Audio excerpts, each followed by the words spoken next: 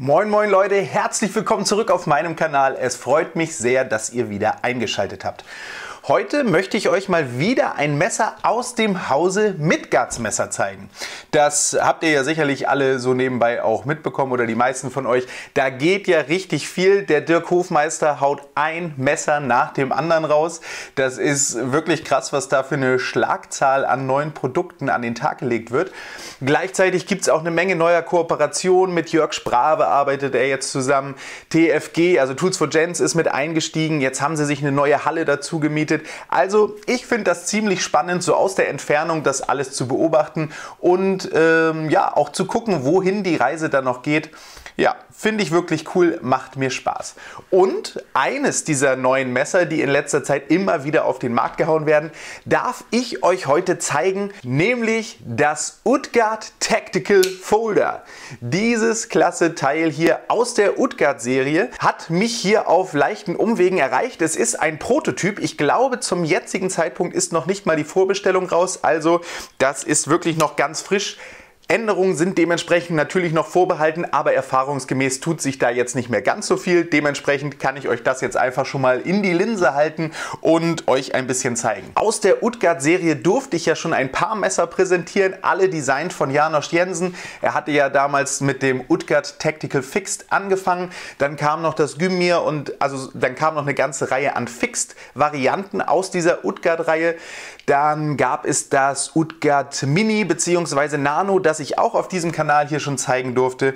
Ich bin ja mittlerweile selbst stolzer Besitzer des Utgard Signature, das ja sehr ähnlich oder nur leichte Veränderungen zum Utgard Tactical aufweist. Und nun gibt es auch ein voll ausgewachsenes Klappmesser aus dieser Reihe. Die Verwandtschaft wird sofort und auf den ersten Blick deutlich.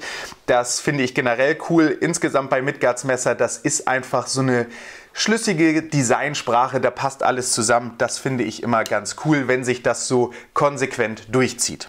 Ich habe dieses Messer hier jetzt seit einiger Zeit schon wieder im Einsatz und durfte es ausgiebig testen. Und was dann sofort deutlich wird, ein wirklich ausgewachsenes und großes Taschenmesser, das aber trotzdem enormen Spielspaß bietet. Das ist ja auch nicht immer selbstverständlich, also das hat eine richtig gute Action. Aber ich würde sagen, ich zeige euch das Teil hier jetzt einfach mal aus der Nähe. Und wenn du Lust hast, dir das anzuschauen und zu hören, was ich von dem Teil halte, bist du herzlich eingeladen, dir dieses Video anzuschauen.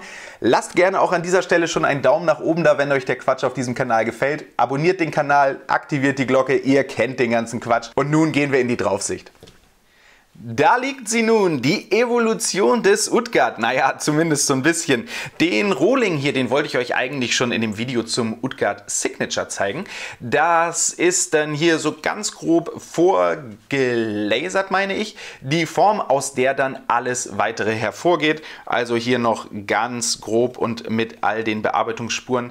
Fand ich auf jeden Fall cool, das mal so vergleichen zu können und mal zu sehen, wie die Reise da eigentlich so beginnt. Also das ist das Grunddesign sein. Aber ja, was dann hier auch wieder ganz offensichtlich ist, und das finde ich an dieser Reihe so cool, dass die Familienzugehörigkeit der einzelnen Messer gerade auch durch den Griff immer sofort ins Auge fällt. Also man sieht einfach ein Messer, das aus der Utgard-Familie stammt und so jetzt auch mit diesem schönen Folder aus dieser Reihe, das Utgard Tactical Folder. Es ist wirklich brachial, also ein großes Teil, aber, und ich hatte ja im Vorfeld da nur Bilder gesehen, es wirkt dann doch, wenn man es in die Hand nimmt und so, ja einfach gar nicht so klobig. Und das finde ich cool, das ist irgendwie geil umgesetzt. Obwohl es ein so großer und ausgewachsener Klapper ist, ähm, ist das Ganze irgendwie noch relativ, ähm, ja, relativ schlank gehalten irgendwie. Wir haben hier, also müssen wir nicht drüber reden, das ist alles hier mit 6 mm, natürlich eine krasse Klingenstärke und so weiter. Aber ich habe ja zum Beispiel auch den Hermod-Folder und da hat es mich dann doch überrascht, weil ich fand, der sieht an sich erstmal deutlich, deutlich klobiger aus. Also ich mag auch dieses Messer total gerne, aber das sieht irgendwie klobiger aus einfach. Das ist so ein richtiger Panzer, ist aber im Prinzip in allen Bereichen entweder genauso groß oder kleiner als der Utgard Tactical Folder. Das hat mich dann doch ein bisschen überrascht, als ich sie so in die Hand genommen habe nebeneinander, weil ich, wie gesagt, beim Betrachten der Bilder am Anfang doch davon ausgegangen war, dass es kleiner sein wird als der Hermod Folder. Ich weiß nicht, wie geht es euch? Ich habe beim ersten Bild, das ich von diesem Messer gesehen habe, hier sofort einen schlafenden Drachen gesehen. Den Flügel hier so um die Schnauze geschlagen, das Auge, hinten noch das Horn dran. Also das ist für mich einfach ein schlafender Drache, der aber schnell und gut geweckt werden kann. Tolle Action hier über die Kugellager. Das gefällt mir alles wieder richtig gut. Es liegt gut in der Hand und auch dieser mega coole Clip hier. Thors Hammer in wirklich breiter Ausführung. Stört auch bei der Handhabung nicht. Nee, ich wollte den Satz gerade irgendwie anders beenden. Nein, es stört einfach in der Handhabung nicht. Also auch da fügt sich das richtig gut ein. Und das Teil baut halt auch doch sehr groß auf. Dadurch kriegt man es aber recht entspannt und gut hier über den Hosenbund bzw über die Hosentasche gefädelt und da sitzt das Ganze dann auch ziemlich gut. Also da in der Handhabung, im Gefühl, da hat man wirklich gut Grip, da hat man gut was in der Hand und kann dann dementsprechend aber auch sehr gut damit arbeiten. Die Klinge ist wieder aus CPM D2 Stahl und natürlich hier nahezu identisch mit den Tactical Fixed. Also auch das ja, also das erwartet man dann ja auch und das wurde hier richtig schön umgesetzt. Wir haben wieder den Durchbruch, der in diesen charakteristischen Fuller übergeht. Diese Mischung aus Droppoint und Tanto-Klinge, die ich auch für extrem tauglich halte, also damit arbeite ich wirklich gerne. Das prägt dann hier natürlich so eine sehr stabile und trotzdem aber penetrierfreudige Spitze aus. Damit kann man gut arbeiten und das Ganze, ja, das ist einfach eine Klingenform, die für die allermeisten Schneidaufgaben richtig gut geeignet ist. Mag ich wirklich gerne. Wir haben dann hier wieder das, wie ich immer wieder sage, sehr schöne und eigentlich ja noch dezente Midgards Messer Logo. Hier steht dann Utgard Tactical. Ich glaube, das ist immer nur bei den Prototypen so. Ich gehe davon aus, dass das nachher nicht mehr da stehen wird. Auf der Rückseite dann nochmal genauso. Und hier haben wir nochmal das Logo von Ereson Customs als Designer. Und dann dieses Mal hier in der Innenseite das Autogramm von Dirk Hofmeister. Das finde ich auch ziemlich cool. Das äh, wandert ja irgendwie immer mal so ein bisschen rum. Hier beim Hermod Folder ist es dann dort gewesen. Das fand ich auch schon ganz gut. Beim Utgard Nano war es, glaube ich, sehr prominent oben drauf. Das fand ich ein bisschen zu prominent. Da finde ich das hier jetzt als, äh, ja, als kleine, dezente Unterschrift wirklich schön gelöst. Die Griffschalen in diesem Fall hier aus G10 sind super geil texturiert. Also das fasst man gerne an, da hat man ordentlich Grip, damit kann man gut arbeiten. Und dieses aufgesetzte bringt natürlich erstmal das Design wieder. Gleichzeitig haben wir dann aber auch einen schönen Schutz hier für den für den, ja, ist es jetzt noch ein Frame Lock, also für den Liner, für den Liner Lock, wie man dann auch will, ähm, dass man da nicht so sehr dann Druck drauf ausübt, wenn man die Klinge auswerfen möchte. Auch das finde ich ziemlich cool. Was hier dann aber noch dazu kommt, so habe ich zumindest den Dirk Hofmeister verstanden. Es wird, wenn das Messer dann draußen ist, immer auch Titan-Onlays dazugeben. Ganz automatisch blaue Titan-Onlays und dann kann man die hier relativ leicht und schnell einfach nach eigenem Gusto wechseln und ja, dann mal durchtauschen, je nachdem, was einem besser gefällt, wo, wie auch vielleicht mal die Tagesstimmung ist oder so. Und das finde ich schon cool, dass das dann gleich mitkommen soll. Die habe ich jetzt hier jetzt noch nicht, um sie irgendwie zu testen, aber ja, wenn das dann so realisiert wird, ist das für mich eine klasse Sache. Und auch das hatte ich ja schon angesprochen. Man hat einen wirklich ausgewachsenen Folder, aber gleichzeitig total viel Spielspaß. Also hier ganz normal mit dem Flipper, da hat man einfach eine krasse Action. Das funktioniert richtig gut. Dann durch diesen ja, Drachendorn hier hat man dann auch die Möglichkeit, das Ganze so als Frontflipper zu benutzen. Äh, oder bin ich hängen geblieben? Oder aber sogar auch mit dem Zeigefinger. Aber sonst auch das normale Flicken ist damit möglich. Beim Thumbflick, ah, da muss ich echt noch ein bisschen üben. Aber ich habe schon gesehen, dass es klappt. Ähm, Reverse Flicking auf jeden Fall möglich. Also für so ein großes Messer wirklich eine grandiose Action. Dass das alles möglich ist, das bietet natürlich großen Spielspaß.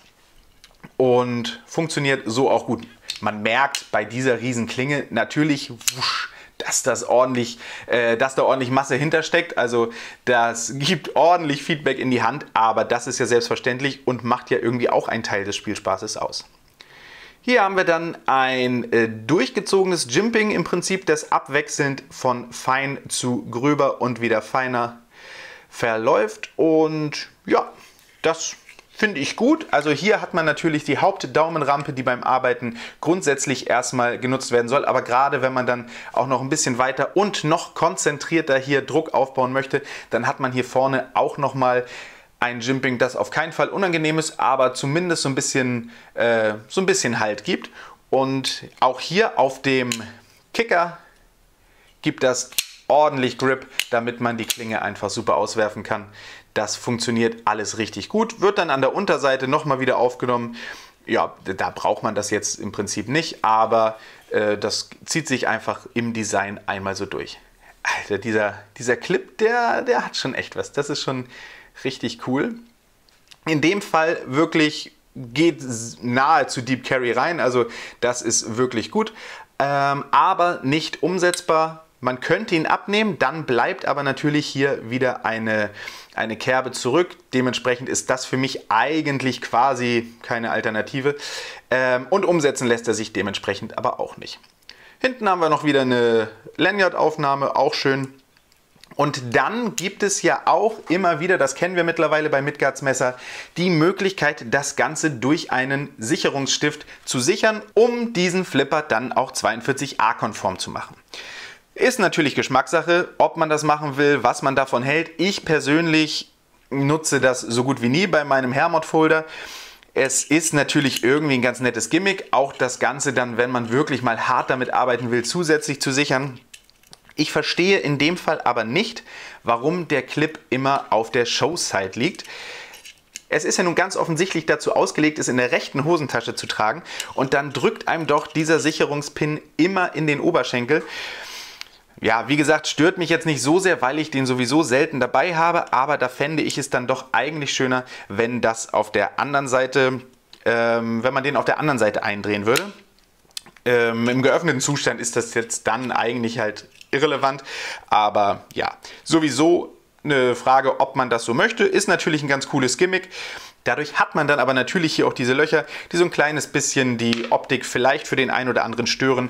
Aber ist eine Abwägungssache und die Option zu haben, dieses Messer dann einfach legal mit sich führen zu können und nicht immer eine abschließbare Pouch oder sowas nutzen zu müssen, ist ja irgendwie auch ein wirklich cooler Gedanke und dann hat man halt die Wahl. Hatte ich beim Hermod Folder auch schon gesagt, ich fände es cool, wenn es zusätzlich noch irgendwie die Möglichkeit gäbe, das hier irgendwo anders mitzuführen und dann nicht so am Schlüsselbund tragen zu müssen oder so. Aber naja, das sind Feinheiten. Schrauben sind dann hier wieder solche Inbus-Schrauben benutzt. Finde ich jetzt rein optisch erstmal gar nicht so schlecht. Hier gefällt es mir meist nicht, dass man wirklich nicht tief mit dem Schlüssel reinkommt und dadurch dann immer wieder die Gefahr besteht, dass man doch überknittelt. Hier bei den Onlays ist es auch schon leicht ausgenudelt.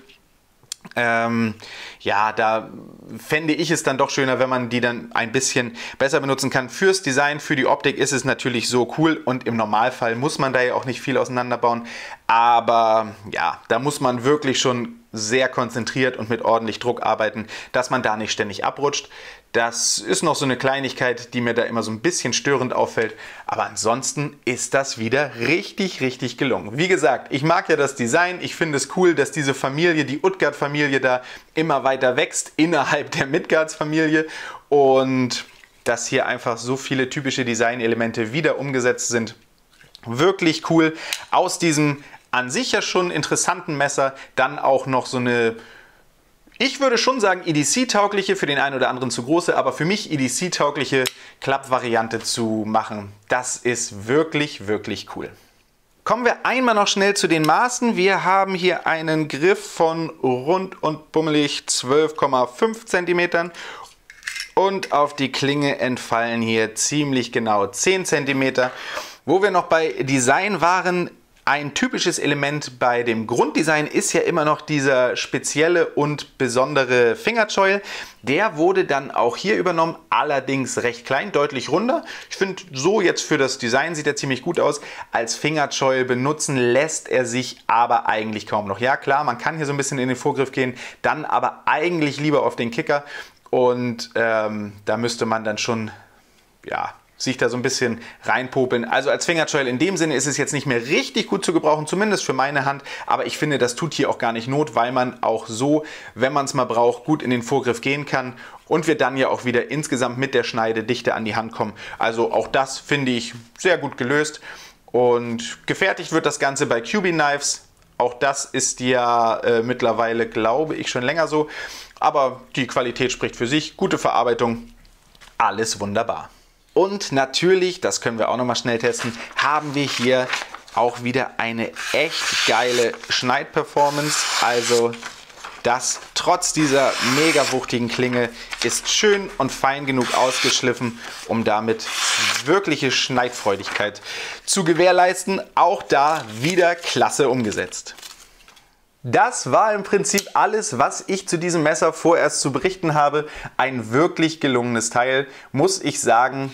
Gefällt mir einfach von A bis Z. Ist ein wuchtiges Teil, klar. Ähm, da muss man wissen, ob man das in der Hosentasche mit sich rumtragen will. Aber ich mag ganz gerne zwischendurch mal ein großes Messer und da bietet sich dieses hier an. Nun muss es ja leider aber die Reise wieder zurück antreten. So ist das nun mal. Ich bin trotzdem sehr, sehr dankbar, dass ich so früh hier schon einen Blick drauf werfen durfte und äh, mit diesem Messer so ein bisschen rumspielen durfte. Also dafür nochmal herzlichen Dank. Lasst ihr mich jetzt aber auch gerne unten in den Kommentaren mal wissen, was haltet ihr von den Messern? Wie gefällt euch das Design? Was für Messer von Midgards Messer habt ihr so im Einsatz? All sowas. Ansonsten wünsche ich euch mit euren Messern weiterhin ganz viel Freude und ganz viel Spaß. Wir sehen uns, wenn ihr mögt, gerne im nächsten Video. Bis dahin, Horrido!